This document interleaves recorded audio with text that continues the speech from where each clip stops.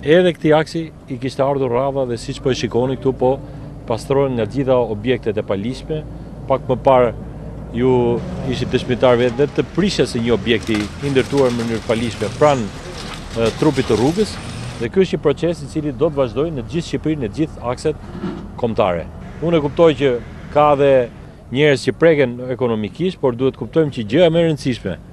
në këto raste është siguria rrugore, pasi shpesh herë këto aktivitete tregtare në buzë të rrugës janë kthyer në burim aksidentesh dhe janë kthyer në një problem shumë më madh shpesh herë edhe për trafikun. Edhe tabelat e vendosura të pamiratuara, tabelat e mëdha që reflektojnë çmime apo reklama atje, do të hiqen dhe ato në mënyrë vullnetare ose forcërisht.